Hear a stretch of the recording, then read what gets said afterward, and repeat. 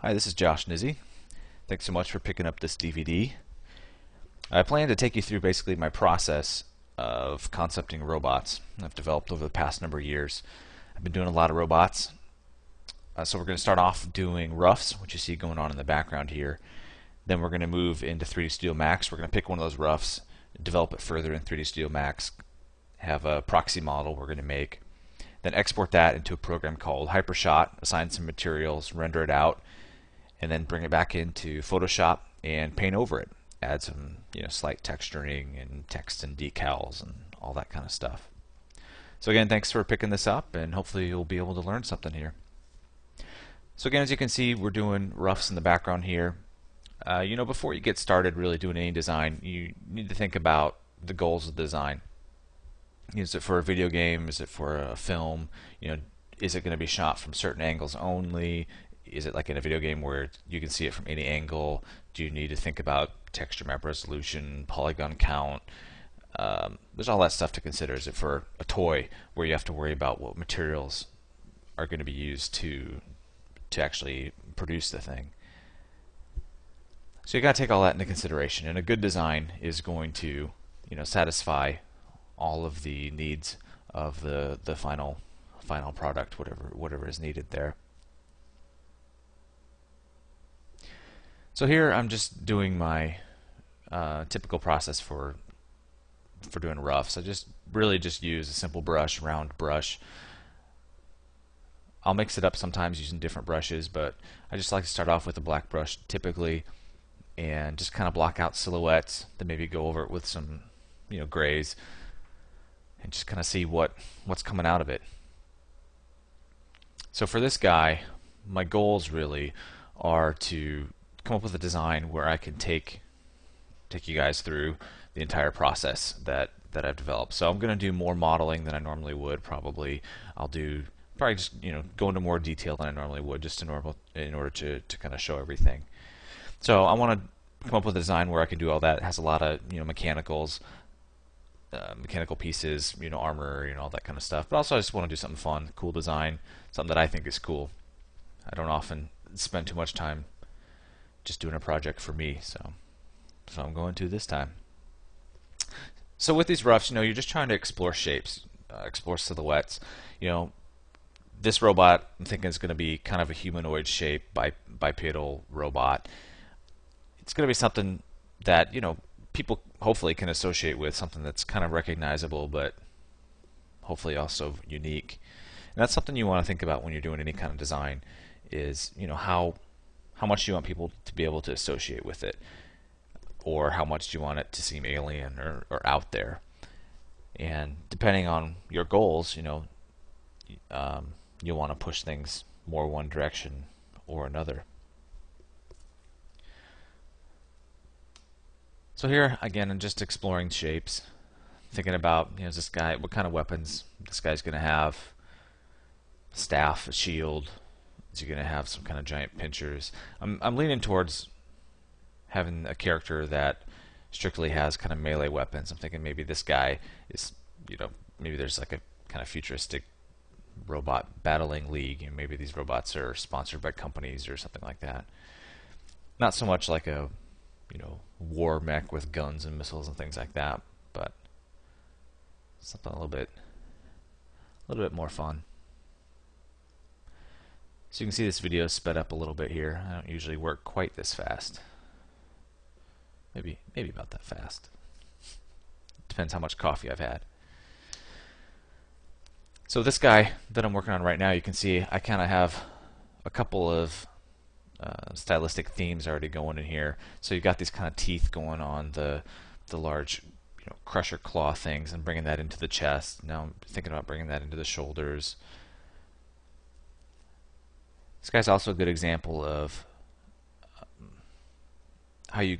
It's a good idea to, to kind of have these larger armor forms that you know popped out from the background. So you got you know you work on the the, the silhouette first, and then kind of do these lighter um, armor on top of it, which is almost like you have to worry about the silhouettes of that armor as well against the backdrop. When usually the that that black is for me is kind of more intricate, you know, doodads and you know sprockets and gyros and you know whatever kind of stuff is back in there, the stuff that actually makes a robot move. And then you want to have the plates on top of it that then can shift and move over. And you know they want to be functional armor, but then you also need to really think about range of motion. You need to think about you know what kind of moves or motion this guy's going to have, what's required. You know, is it supposed to have the feeling of you know like a tank where it doesn't have much organic movement? Or is it supposed to be like some cyber ninja type thing and you really want to have lots of moving parts? So you got to consider all that stuff. But also you know at this stage you really just kind of want to have fun. You want to play with the shapes. You want to just explore things. So with this guy I've kind of had this idea for maybe these large I don't know knives or chainsaws on on the end of sticks kind of coming off his shoulders. So it'd still have hands, but you know maybe he could grab somebody and pull it in, pull him in, and then start punching him or something like that. I don't know how practical it'd be because I imagine they'd be pretty fragile. Those kind of long knives on the end of sticks like that would probably get snapped off, but it's a somewhat unique, unique profile. But here I'm just going to try a little something different with this guy. Just iterating on the idea. This time going a little bit more traditional. Maybe he's got some kind of sword, chainsaw sword type thing.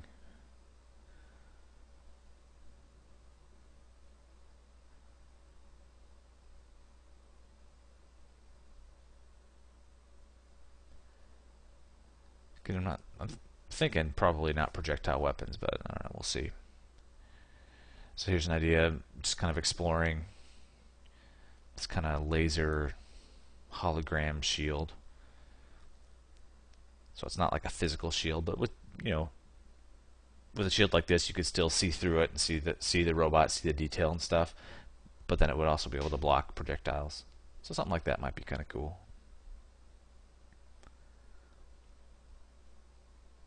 Thinking about giving him kind of maybe elephant type feet with claws or something. So here I'm just kind of organizing my roughs.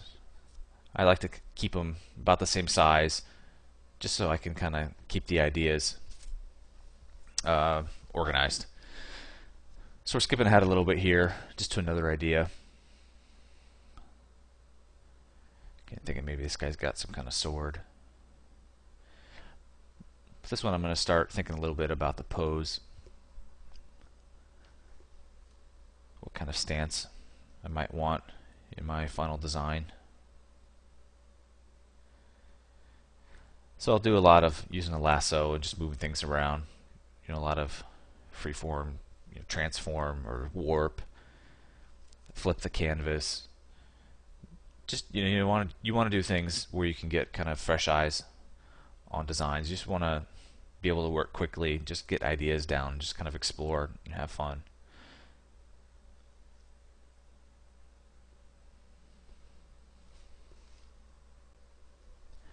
So this guy, I'm thinking he's kind of maybe a, bit more of like a brute, just big, thick guy. You know, he'd be real firmly planted, kind of wide stance, have a you know a real physical shield, kind of a thick, thick piece of metal or something. So I'll do a lot of just drawing, you know, with grays and blacks and then going back in and erasing. It's a really good idea when you're designing these kinds of things to think about negative space also. Something I learned for sure from working on Transformers is that you know having negative space is a really good thing in robot designs because you know when they animate you get this some cool you get some cool parallax with you know pieces moving in front of each other but also I think the negative space really helps uh, to integrate the robots into the world. You know, having those places where you can see through a little part, you know, see part of the background, or whatever. I think it's uh, it makes for a much more interesting design.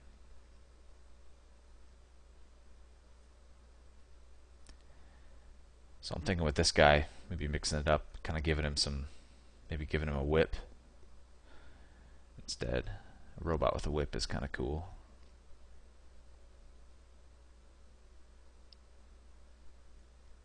It's just starting to go in and add another level of detail on this guy.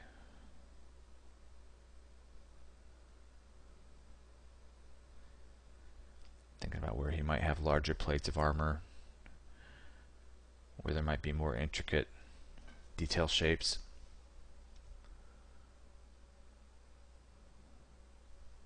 A little bit generic right now, but I think there's some possibility with this guy.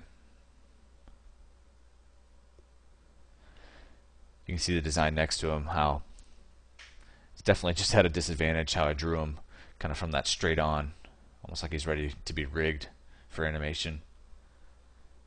Just when you're exploring, you know, shapes and designs, trying to do roughs, I think you're it's much better to do it in some kind of pose.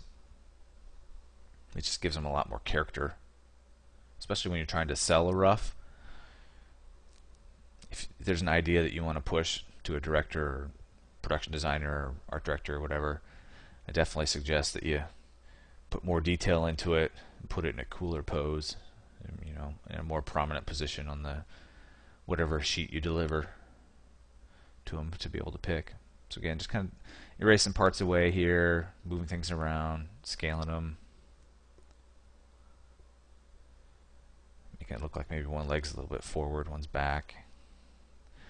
I'm liking some of those the negative shapes up near the neck.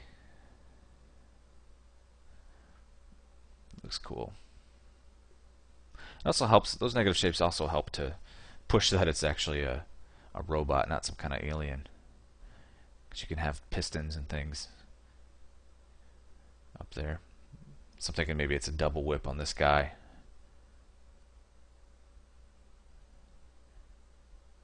Starting to think about maybe what kind of face he has eyes.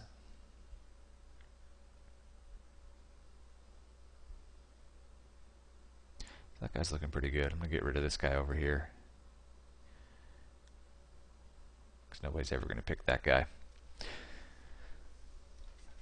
So here, moving back to another another one I started earlier, just kind of developing a little bit more. There might be something to this guy. Know, we'll just see.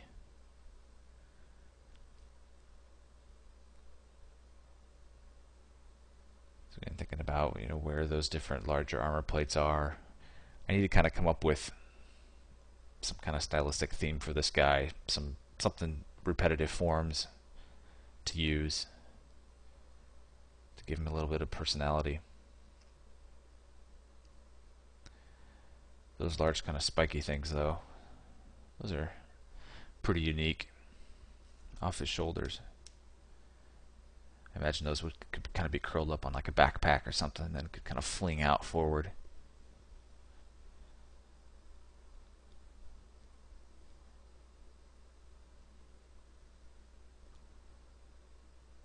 I don't know. Yeah, I think I want to extend these up some, give them a little bit of space, a little longer. Don't want them to be too close to the body because you want them to be able to move his arms and stuff.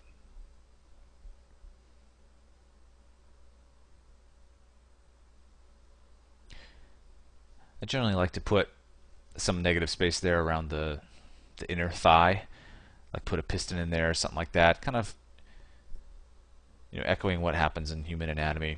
I think that's something that's also worth talking about. Is I think it's really important to be knowledgeable about human anatomy or you know anatomy of animals and things like that, even for when you're designing robots. Because that's something that people associate with. It's something that makes sense.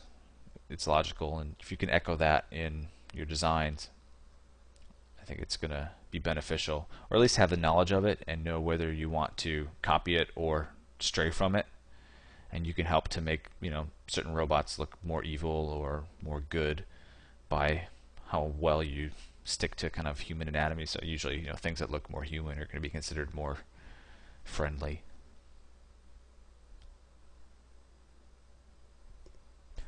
Decided to change those spike things on the off the shoulders into chainsaws. I think they are looking pretty spindly right now but still kind of interesting.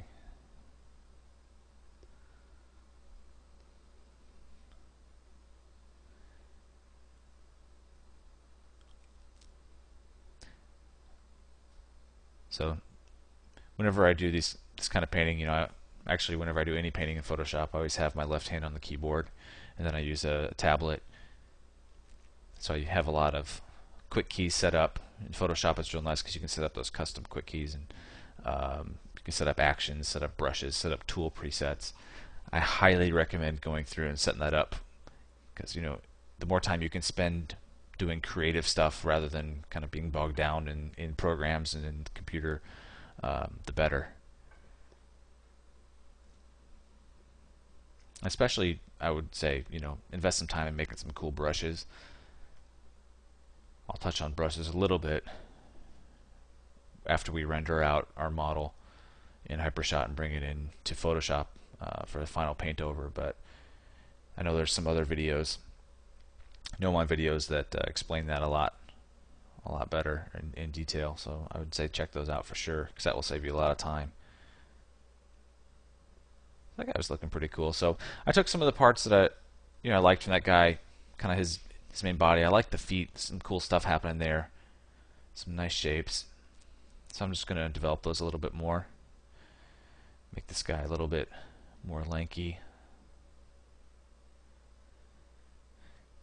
I'm thinking he's going to have a pretty typical kind of, you know, muscular type build. You know, real broad shoulders. He's going to be pretty thick.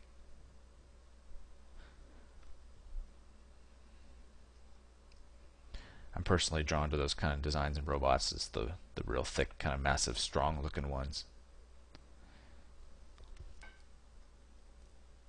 So since nobody's telling me what to do, that's what I'm going to do.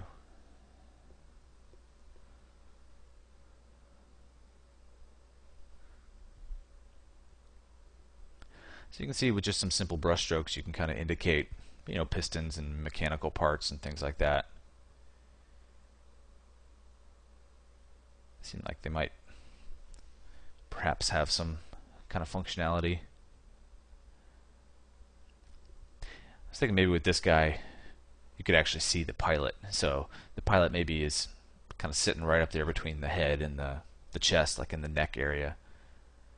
Maybe this yellow stuff is his kind of control panel, kind of glowing, maybe underlighting his face or something.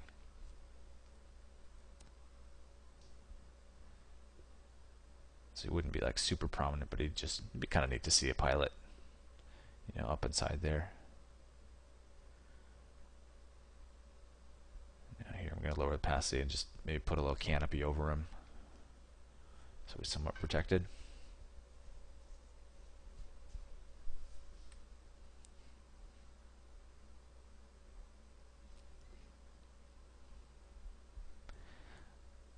Yeah, I'm going to think about what kind of weapons this guy might have. Maybe he's got some uh, kind of blade, knife type thing that pivots from his wrist, kind of slides out, rotates out rather. So he can either you know grip things with his hands or flip it out as a knife. So here's another rough that I kind of started messing with, and uh, I'm liking some parts of it. I like the the head. There's some cool stuff going on there with those horns some shapes that are kind of kind of nice. The circular shape of the head, then kind of being echoed in that outer shape. I like the feet quite a bit here, kind of a mix of like hooves and high heels. But manly high heels, tough high heels. High heels like Sylvester Stallone wears.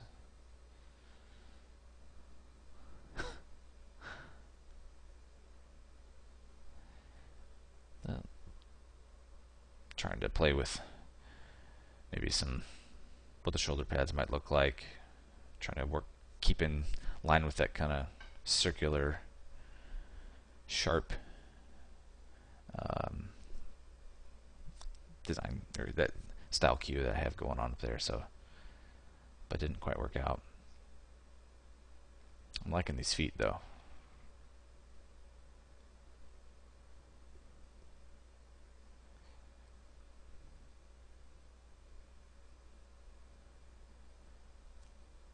So here with this arm, it's got these kind of protruding bits, maybe some kind of shield generator, pulse generator, generator or something.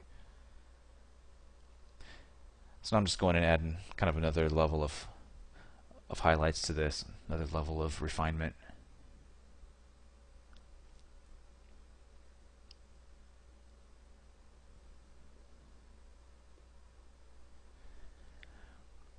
Always got to keep in mind when you're placing your kind of outer armor pieces about how the thing's going to rotate and animate, what kind of poses you want it to have.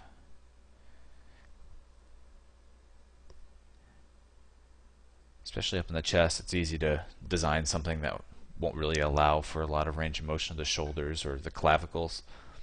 And you kind of miss out on a lot of uh, expression, a lot of dynamic poses if you don't have clavicles on your robot.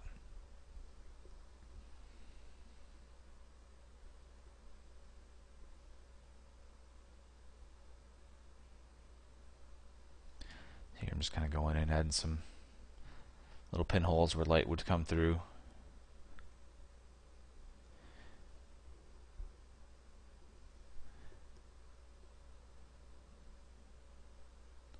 Some nice things about this guy.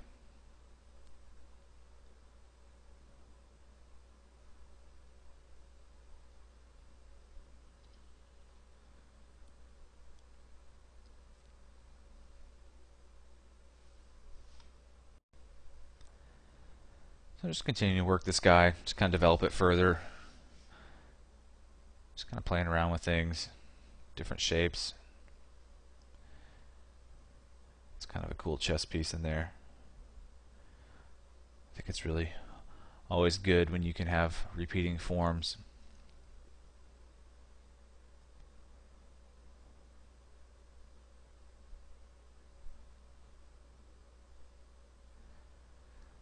Got a little bit of a samurai flair here.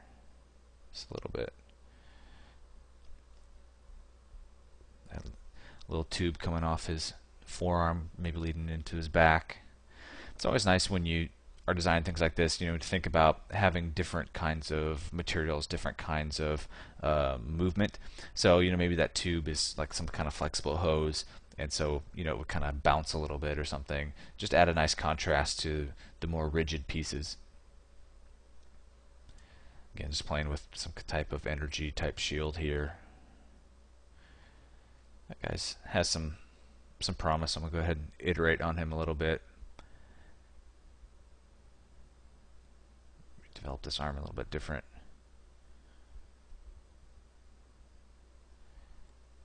So this kind of he's got some chainsaw type thing over here.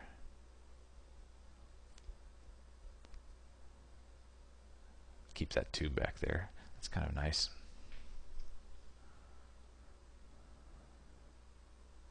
Just adding some more kind of negative space in here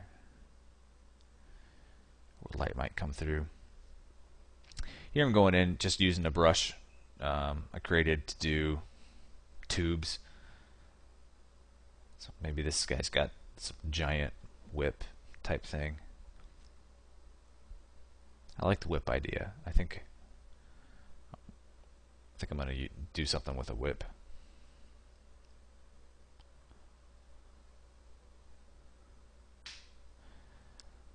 I was trying to make this chainsaw maybe a little different here. It's kind of a mix between a sword and a chainsaw. So it kind of comes to a point.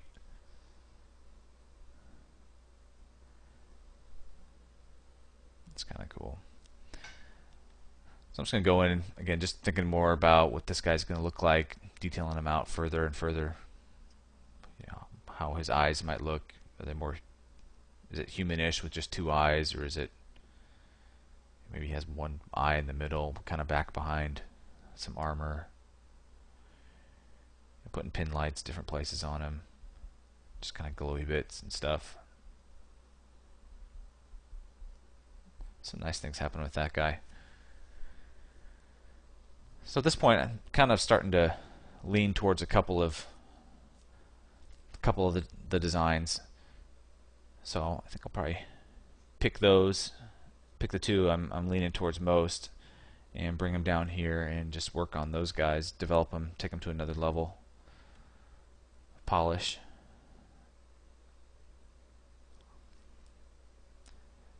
I decided to make this guy a little more um, athletic looking, a little more kind of lanky, not quite so squat. Just give him some longer legs. Thinking also trying to do something unique with the profile. Give him some big spikes on the shoulders or something.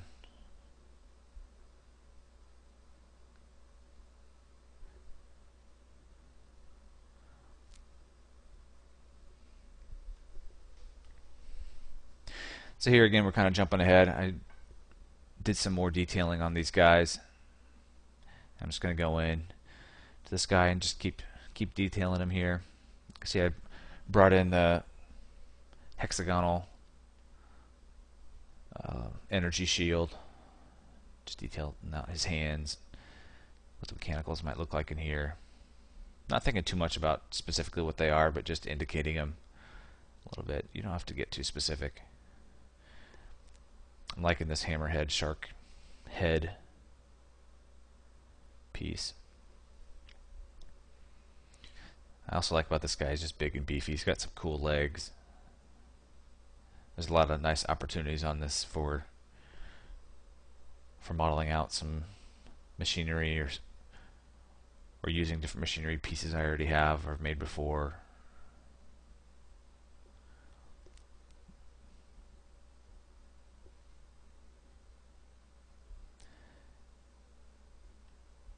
So here you can see all the different brushes I have. So one thing that's important with any of your any of your roughs you do or any concept is just to give them, you know, uh, a way to tell how big they are, sense of scale. So I've got these little dudes, scientist dude and army dude and etc. So it's just a brush and I can, you know, put the size I want next to these guys. So I was thinking these guys would be these robots gonna be pretty huge. So people will get an idea of how big they are now just by putting a little person next to it. So I'm kind of going through and organizing them, organizing all my designs here. I'm going to put together basically what I would deliver to a client for you know a sheet of what what roughs would be um, to discuss and then to to move forward on some or to develop some further. So I'm putting the two I developed the most, the two I think are the best at the top, and then the other ones I did down at the bottom. And I'm just going to like label them. It's a good idea to label them just so that you know when you're talking over email or phone or whatever, you can say option one and you both know what you're talking about. Option two, you know what you're talking about. Only thing also to mention is you got to be careful with whatever roughs you deliver because oftentimes, you know, the person you're delivering things to, your client will pick something you really didn't want them to pick. so, you know, don't include something that you really hate like there's a couple on the bottom there that I would not actually send, like that stupid one in the middle, whatever is, whatever he's about. So I'll generally just collapse all this and save it out as a JPEG. And a lot of times I like to do a smaller version, kind of a more email friendly version. Maybe I'll put a sharpen filter on there just to make it pop a little bit. But this is what I would basically deliver to a client for first round of roughs. And from here we discuss it and decide what we want to do next. And for this DVD, I have decided to go with option one. I just like that thick guy, the whips, um, cool hammerhead, and the legs. I think I think he's going to turn out really nice. Um, so that's one we're going to move forward with. We're going to bring it into 3D Studio Max and start to develop him even more and you know create that proxy model and then we'll render it out and come back in here to Photoshop.